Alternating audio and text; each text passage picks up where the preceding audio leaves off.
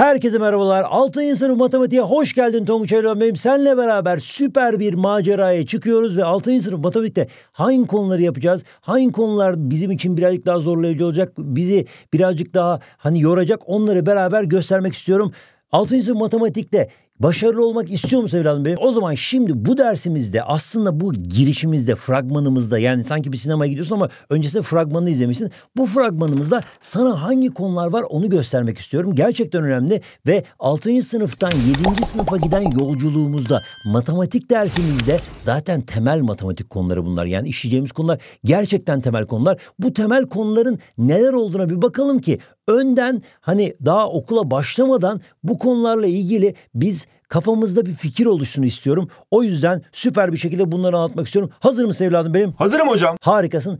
Şimdi biz toplamda 6 tane ünite göreceğiz 6. sınıf matematikte. Ve bu ilk ünitemiz doğal sayılar, çarpanlar katlar, kümelerden oluşuyor. Buradaki üniteler birazcık daha birkaç tane konunun birleşiminden oluşuyor. Mesela birinci ünitemizde doğal sayılar, çarpanlar katlar, kümeler 3 farklı konuyu birleştirmişiz. İkinci ünitemizde tam sayılar ve kesirlerle işlemleri birleştirdik. Üçüncü ünitemizde ondalık gösterim ve oran konusunu birleştirdik. Dördüncü ünitemizde tabii bunu biz birleştirmiyoruz. Milliyetin Bakanlığı birleştiriyor. Bu ilk 3 üniteyi birinci dönemde işliyoruz. Ardından ikinci dönemde dördüncü ünitemizde cebirsel ifadeler, veri toplama, veri analizi konularını beraber yapacağız. Beşinci ünitemizde açılar, alan ölçme konularına baktıktan sonra altıncı ünitemizde son olarak çember, geometrik cisimler ve sıvı ölçmeyle bu konuların hepsini tamamlayacağız. Ve bütün bu konularımız boyunca senle beraber aslında süper bir çalışma düzeni yapacağız. YouTube kanalımızda yani bu kanalda mutlaka abone olmayı ihmal etme.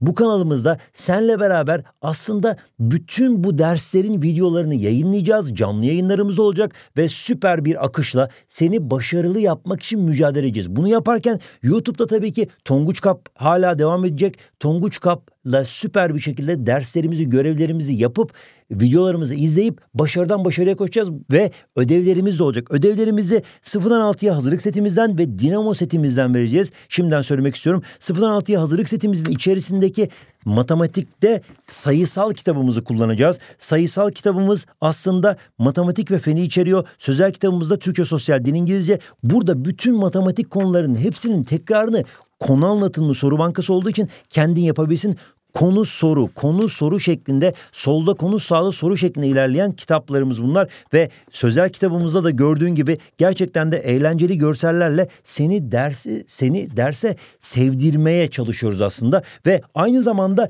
Dinamo setimizde hemen göstermek istiyorum. Dinamo setimizin içerisinde matematik kitabımız ayrı bir şekilde var.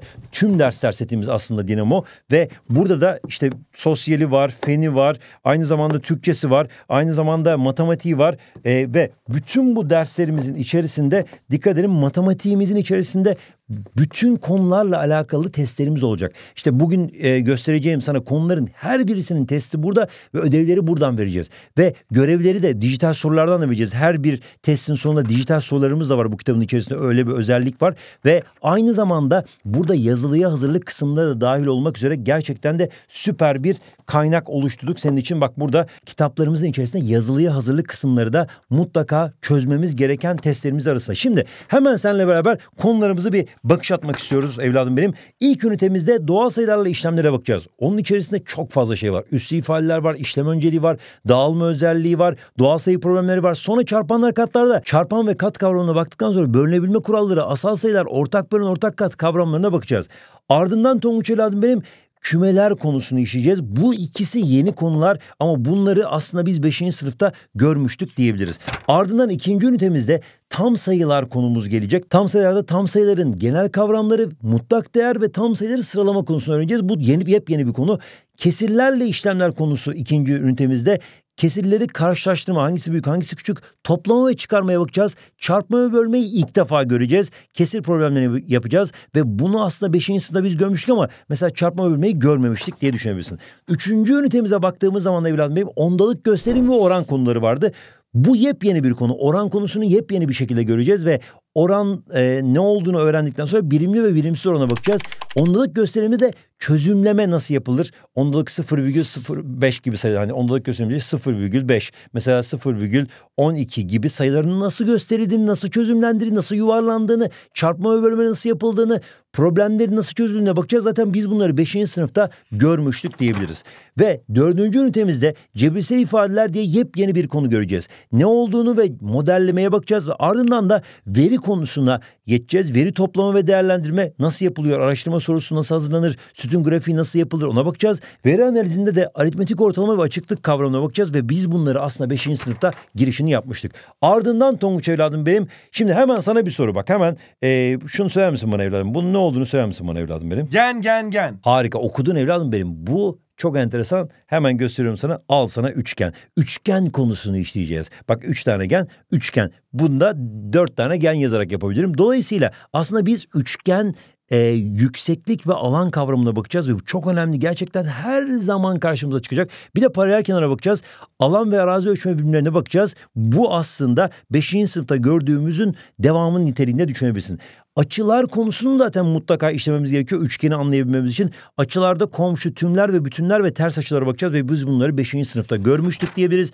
Altıncı ünitede artık son ünitemizde de çember konusu, geometrik cisimler ve sıvı ölçme konularına bakacağız. Çember konusunda çemberin temel elemanları işte yarıçapıdır, merkezidir, e, çemberin uzunluğu nasıl hesaplanır, pi kavramı nedir ona bakacağız. Yepyeni bir konu bu. Geometrik cisimlerde dikdörtgenler prizmasının hacmine bakacağız ve hacim nasıl ölçülür ona bakacağız. Beşinci sınıfta biz bunu görmüştük.